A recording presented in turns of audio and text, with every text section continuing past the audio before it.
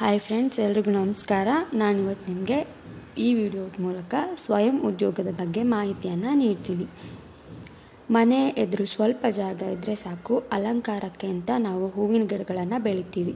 ಸ್ವಲ್ಪ ಯೋಚಿಸಿ, ಈ ನಮ್ಮ ಅಭ್ಯಾಸನೇ ಬದುಕನ್ನು ಬದಲಾಯಿಸೋ ಹಾಗಾದರೆ ಎಷ್ಟು ಚೆನ್ನಾಗಿರುತ್ತೆ ಅಂತ. ಅತಿ ಬೇಗ ಹೆಚ್ಚು ಆದಾಯವನ್ನು ತರುವಂಥ ಕೃಷಿ ಮಲ್ಲಿಗೆ. ಈ ಕೃಷಿ ಸಾಮಾನ್ಯವಾಗಿ ಮಹಿಳೆಯರು ಮಾಡಬಹುದಾದಂತಹ ಒಂದು ಕೃಷಿಯಾಗಿದೆ. ಅಲ್ಲದೆ ಹಲವಾರು ದಿನ ಕಾದು ಫಸಲು ತೆಗಿಬೇಕು ಅನ್ನೋದು ಏನೂ ಇಲ್ಲ.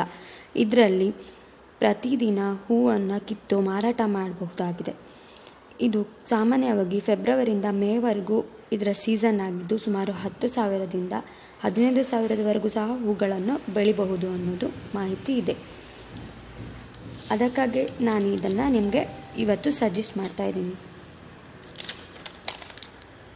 ಪ್ರಪಂಚದಲ್ಲೇ ಅತಿ ಹೆಚ್ಚು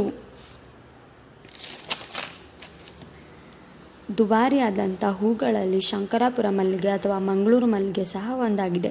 ಇವತ್ತಿನ ಮಾರುಕಟ್ಟೆ ರೇಟು ನೋಡಿದರೆ ಒಂದು ಅಟ್ಟೆ ಅಂದರೆ ನಾಲ್ಕು ಚೆಂಡು ಹೂವಿಗೆ ಒಂದು ಸಾವಿರದ ಒಂಬೈನೂರ ಐವತ್ತರಿಂದ ಹಿಡಿದು ಎರಡು ಸಾವಿರದವರೆಗೂ ಸಹ ಇದೆ. ಇದು ಕೆಲವು ಸೀಸನ್ನಲ್ಲಿ ಜಾಸ್ತಿನೂ ಆಗಬಹುದು. ಮತ್ತು ಕೆಲವು ಸೀಸನ್ನಲ್ಲಿ ಕಡಿಮೆ ಅಂದರೂ ಸಾವಿರದ ಐನೂರ ಕೆಳಗಂತೂ ಹೂವಿನ ರೇಟು ಇಳಿಯೋದಿಲ್ಲ. ಇದು ಬಾಂಬೆ ಸೇರಿದಂತೆ ಹೊರದೇಶಕ್ಕೂ ಸಹ ರಫ್ತಾಗೋದ್ರಿಂದ ಕರಾವಳಿಯ ಮದುವೆ, ಬಯಕೆ ಅಥವಾ ದೈವ ಕರೆಗಳಾದ ಕೋಲ, ಭೂತಾರಾಧನೆ ಎಲ್ಲದಕ್ಕೂ ಸಹ ಈ ಹೂವು ಬೇಕೇ ಬೇಕು. ಹಾಗಾಗಿ ಇದರ ವ್ಯಾಲ್ಯೂ ಯಾವತ್ತಿಗೂ ಸಹ ಕಡಿಮೆ ಆಗೋದಿಲ್ಲ. ಇನ್ನು ಇದನ್ನು ಬೆಳೆಯೋದು ಹೇಗೆ ಅಂತ ಕೇಳಿದ್ರ, ಇದು ಜಾಸ್ತಿ ಪೋಷಕಾಂಶ ಬೇಡ, ಬೇಡುವಂತಹ ಬೆಳೆಯಾಗಿದೆ ಆದ್ದರಿಂದ ನಾವು ಮಾ, ಸಾಮಾನ್ಯವಾಗಿ ಮಾರ್ಚ್, ಏಪ್ರಿಲ್, ಮೇ, ಜೂನ್ನಲ್ಲಿ ಹೂ ಆಗ್, ಆಗ್ತದೆ.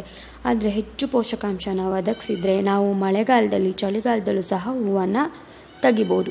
ಅಂದರೆ ವರ್ಷವಿಡೀ ಫಸಲು ಕೊಡುವಂಥ ಒಂದು ಬೆಳೆಯನ್ನಾಗಿ ನಾವು ಮಾಡಿಕೊಳ್ಬಹುದು. ಕಲ್ಲು ಮಣ್ಣು, ಕಾ, ಸಾಮಾನ್ಯವಾಗಿ ಇಳಿಜಾರು ಪ್ರದೇಶದಲ್ಲಿ ಅಥವಾ ಕಲ್ಲು ಮಣ್ಣು ಇರೋ ಪ್ರದೇಶದಲ್ಲಿ ಇದನ್ನು ಬೆಳಿಬೋದು. ನಾನು ಹೇಳಿದೆ ಅಲ್ಲ, ಆಗಲೇ ಅಂದರೆ ನಿಮ್ಮ ಮನೆ ಅಂಗಳದಲ್ಲೇ ಸಹ ನೀವು ತುಂಬ ಚೊಕ್ಕವಾಗಿಟ್ಕೊಂಡು ಅಲ್ಲೇ ನೀವು ಮಲ್ಲಿಗೆ ಕೃಷಿಯನ್ನು ಮಾಡಬಹುದು. ನೀರು ಇಲ್ಲಿ ನಿಲ್ಲದೆ ಇರೋ ಜಾಗ ಅಥವಾ ಸೂರ್ಯನ ಬೆಳಕು ಬಹಳ ಚೆನ್ನಾಗಿ ಬೆಳೆಯೋ ಜಾಗದಲ್ಲಿ ನೀವು ಈ ರೀತಿ ಮಲ್ಲಿಗೆ ಗಿಡಗಳನ್ನು ಬೆಳಿಬೋದು. ಇದನ್ನು ಬೆಳೆದ ನಂತರ ಮನೆಗೆ ಏಜೆಂಟರ್ಗಳು ಬಂದು ಹೂವನ್ನು ತಗೊಂಡು ಹೋಗೋದ್ರಿಂದ ನಮಗೆ ನಾವು ಮಾರುಕಟ್ಟೆಗೆ ಹೋಗಿ ಯಾವ ರೀತಿ ಸೇಲ್ ಮಾಡೋದು ಅನ್ನೋ ತಲೆ ಬಿಸಿ ಇರೋದಿಲ್ಲ. ಅಲ್ಲದೆ ಇದನ್ನು ಬಾಳೆ ಹಗ್ಗಗಳಲ್ಲಿ ಕಟ್ಟಬೇಕಾಗ್ತದೆ ಒಂದು ಅಟ್ಟೆ ಅಂದರೆ ನಾಲ್ಕು ಕೆಲವರು ಜಾಗ ಇಲ್ಲದೆ ಟೆರೆಸ್ ಮೇಲೆ ಕೂಡ ಮಲ್ಲಿಗೆ ಬೆಳೆಯನ್ನು ಬೆಳೆದು ಲಾಭವನ್ನು ತೆಗೆದಂತಹ ಮಾದರಿ ಮಾದರಿಗಳಿದೆ.